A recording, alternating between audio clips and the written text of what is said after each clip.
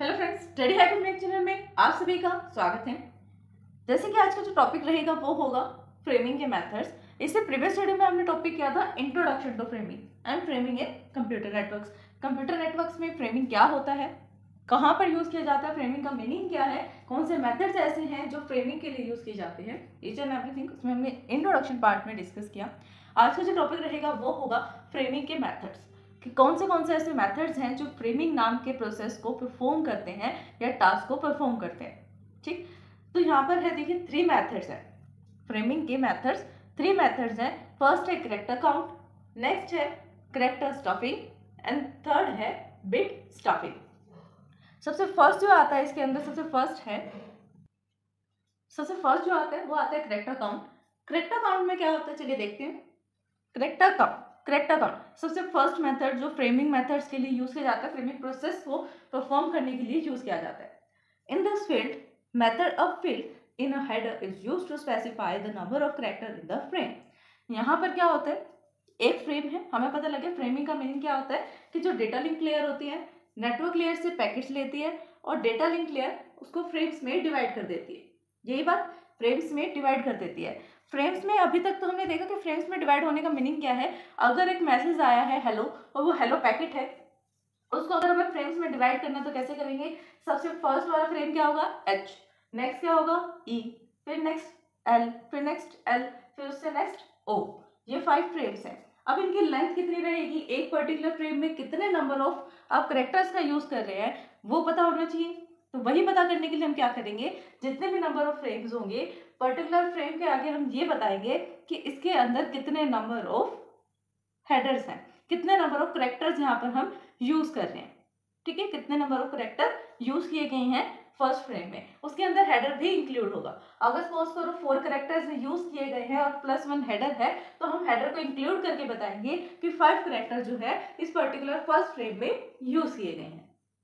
इतना समझ में आया आपके पास फ्रेम तो होगा ही होगा, लेकिन फ्रेम के आगे एक एडिशनल बिट होगी। वो एडिशनल बिट किसकी होगी? हेडर की। जो हेडर ये बताएगा कि पर्टिकुलर फ्रेम में कितने नंबर ऑफ़ करेक्टर्स का यूज़ किया गया है। यहाँ पर हम करेक्टर को काउंट करेंगे। तभी इसका नेम क्या है? करेक्टर काउंट है। कि जितने भी नंबर ऑफ़ करेक्टर्स हैं किसके अंदर? फ्रेम में। उनको काउंट करो। काउंट करने के बाद हेडर में लगा दो सबसे फ़र्स्ट फ़र्स्ट पे। और प्लस हेडर को भी काउंट करके हमें वही लिखना है। एक ही में। ठीक है? ये एक ऐसी स्पेसिफिक बिट होती है जो नंबर ऑफ़ फ्रेम्स में कितने नंबर ऑफ़ करेक्टर्स हैं, वो हमें पता है। एग्ज़ाम्पल के लिए अब देखिए जैसे सबसे पहले ये आपके पास दो फ्रेम्स हैं, ये यहाँ से फोर से लेकर फोर से लेकर वन तक। कहाँ से? फोर से लेकर वन तक फ्रेम नंबर वन है एंड थ्री से लेकर सिक्स तक फ्रेम नंबर टू है एंड सो ऑन अब नंबर ऑफ़ फ्रेम्स कितने भी हो सकते हैं, हम दो एग्ज़ाम्पल ले रहे हैं इसके अंदर, कि फोर से लेकर वन तक फ़र्स्ट फ्रेम सिक्स से लेकर सिक्स तक नेक्स्ट फ्रेम अब हमें पता है कि कितने नंबर ऑफ़ जो फ़र्स्ट फ्रेम है, इसके अंदर कितने नंबर ऑफ़ करेक्टर्स हैं? फोर है फाइव है टू है एंड वन है। कितने करेक्टर है? फोर ये जो फोर है, ये क्या है? इसका हेडर है। हेडर ये बताते हैं कितने नंबर ऑफ़ करेक्टर्स हैं। वन टू फाइव ये तो है ही है। प्लस फोर हमने क्यों लगाया? ये बताने के लिए कि कितना स्पेस है, कितने नंबर ऑफ़ करेक्टर्स इसके अंदर भरे हुए हैं, कितने फ़ील्ड है। ठीक है? फिर नेक्स्ट फ्रेम नेक्स्ट फ्रेम में क्या है? Six five four two three five characters ही है प्लस वन हमें हेडर ऐड करना है। तो हेडर को ऐड करने के लिए हमने क्या किया यहाँ पर? सिक्स लगाया। क्यों? क्योंकि फाइव तो करेक्टर्स हैं प्लस वन हेडर को रिप्रेजेंट कर रहा है। लेकिन वो हेडर को रिप्रेजेंट तो कर रहा है, ये हमने समझ लिया कि हेडर रिप्रेजेंटेशन हो रही है। हेडर को रिप्रेजेंट करने के लिए भी आप करेक्टर का यूज़ कर रहे हैं ना? ये बताने के लिए कि कितने नंबर ऑफ़ यहाँ पर करेक्टर्स यूज़ किए गए हैं। वो भी तो एक करेक्टर है। इसलिए हम हेडर में करेक्टर प्लस हेडर वाला करेक्टर को ऐड करके ही लिखते हैं। रहेगा उतना ही? लेकिन ऐड करके लिखेंगे।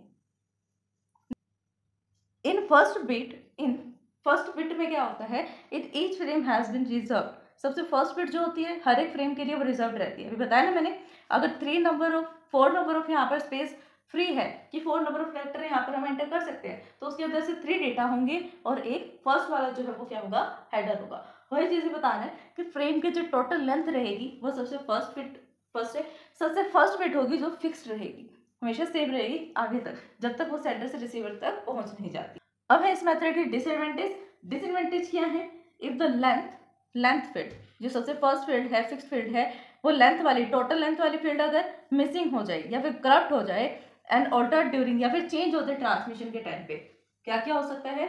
करप्ट हो जाए, ठीक है? या फिर उसमें ड्यूरेशन के टाइम पे, जिस टाइम आप ट्रांसमिशन कर रहे हैं, उस ड्यूरेशन में ऑल्टर्ड हो जाए, यानी चेंज हो जाए वैल्यू फोर लिखा था फाइव हो जाए।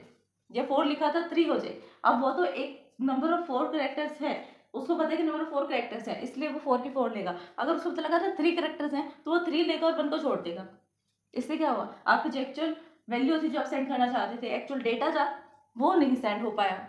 चेंजिंग हो गई। डेटा करप्ट हो गया। जो लेंथ फ़ील्ड है, अगर वो करप्ट होगी तो पता ही नहीं लगेगा कि फ्रेम के अंदर कितने नंबर ऑफ़ करेक्टर जो है वो सेंडर ने सेंड किए थे। राइट फ्रेम में कितने number of character sender send कर रहा था, वो किसी को पता नहीं लगेगा। क्यों? क्योंकि जो टोटल लेंथ वाली फ़ील्ड है, वो तो मिसिंग हो गई, या फिर करप्ट हो गई, ठीक है?